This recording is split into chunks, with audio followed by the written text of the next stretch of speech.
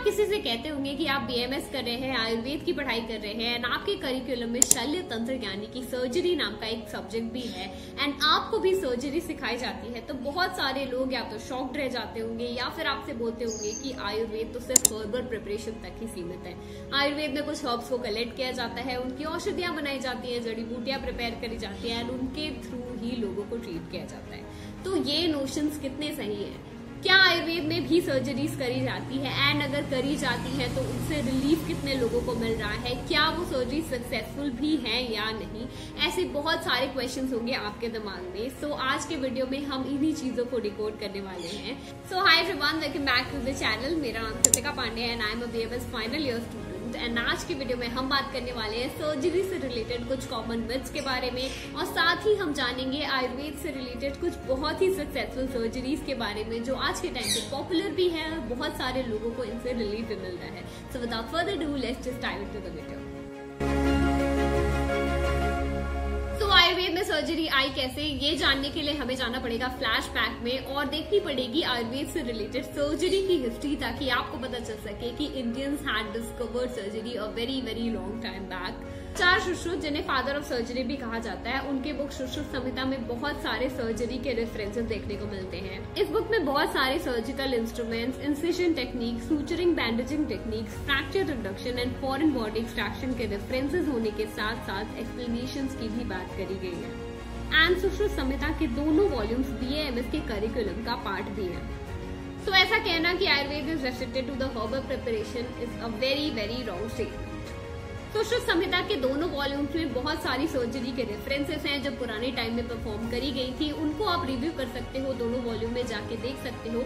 और अगर अभी के टाइम में बात करें तो बीएमएस के बाद जिन्होंने पोस्ट ग्रेजुएशन एमएस सर्जरी करी है, यानी कि शल्य तंत्र से अपनी पोस्ट ग्रेजुएशन करी है these people are entitled to do surgery ये तो रही हिस्ट्री की बात, पर आज के टाइम पे भी कुछ सर्जिकल एंड पैरासर्जिकल प्रोसीजर्स हैं जो आयुर्वेदिक हॉस्पिटल्स में परफॉर्म किए जाते हैं। ये साथ में पॉपुलैरिटी भी गेन कर रहे हैं और इनसे बहुत सारे लोगों को रिलीफ भी मिल रहा है तो आइए हम उनके बारे में भी जान लेते हैं।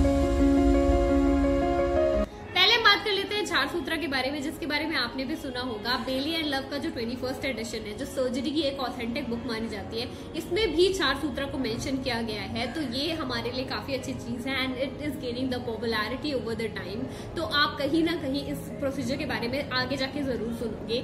इस प्रोसीजर को बेसिकली यूज़ किया जाता है पाइस फिस्टुला एंड फिशर के पेशेंट को ट्रीट करने के मिनिमम 25 टू 30 मिनट की सर्जरी होती है, ज़्यादा पेनफुल नहीं होती है एंड इसके रियाकरेंस रेट काफ़ी कम है तो ये काफ़ी अच्छी बात हो जाती है। तो ये एक प्रोसीजर ऐसा है जो सिर्फ़ एक्सटेंसिवली इसको ही प्रैक्टिस करके बहुत सारे लोग ग्रो कर रहे हैं एंड बहुत सारे सर्जन ऐसे भी हैं जो सिर्फ़ चार सूत्रा करके ही बहुत अच्छी इनकम जनरेट कर रहे हैं। तो अगर आप आयुर्वेद में आ गए और आपको सर्जरी में इंटरेस्ट है तो चार सूत्रा सीखना आपके लिए एक बेहतर चीज़ रहेगी।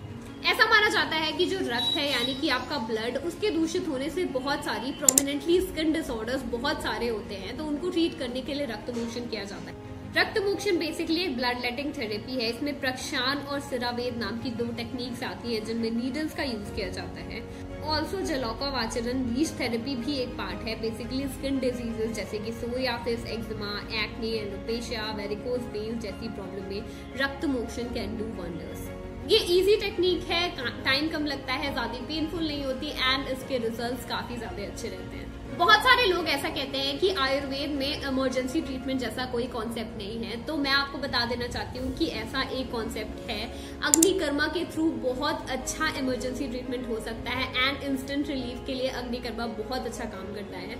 ये एक टाइप की थेरापेटिक हीट होती है, कुछ शलाकाएँ ली जाती हैं, जिन्हें हम हीटेड रॉड्स भी बोल सकते हैं। गोल्ड सिल्वर आयरन या कॉपर की बनी हो सकती हैं। इन्हें डायरेक्टली हीट करके अप्लाई किया जाता है स्किन पे या फिर अफेक्टेड साइड पे। और ये प्रोसीजर इंस्टेंट पेन रिलीफ के लिए बहुत ही इफ़ेक्टिव होते हैं। मस्कुलोस्केलेटल डिसऑर्डर जैसे ऑस्टियोआर्थराइटिस साइटिका फ्रोजन शोल्डर जैसी बीमारियों में अग्निकर्मा इज़ डूइंग वंडर्स एंड जिन सर्जरीज के बारे में मैंने आपको बताया, उनकी डिस्कवरी ही आयुर्वेदा में हुई और वो बहुत अच्छी चल भी रही है। बहुत सारी वैद्यास ऐसे हैं महाराष्ट्र के साइड में जो सिर्फ़ अग्नि कर्मा की प्रैक्टिस करके बहुत अच्छी इनकम जनरेट कर रहे हैं। बहुत सारे रक्त मोशन के स्पेशलिस्ट हैं, बहुत सारे छार सूत्रा के स्पेशलिस्ट हैं अग्नि कर्मा के स्पेशलिस्ट हैं। अगर आप रिसर्च करोगे एंड नेट पे जाके देखोगे तो आपको पता चलेगा कि बहुत अच्छे अच्छे वैद्यास हैं जो इन टेक्निक्स को मास्टर करके बहुत अच्छा करें अपनी लाइफ में। तो अगर आपको ऐसा लगता है कि आपका सर्जरी में कोई स्कोप नहीं है और अगर आप आयुर्वेद में आ गए हो तो आप सर्जरी आगे जाके नहीं कर सकते हो तो ऐसा नहीं है। अगर आपको सर्जरी में इंटरेस्ट है अगर आप अच्छे सर्जन बनना चाहते हो तो स्कोप हमेशा है और आप बन भी सकते हो।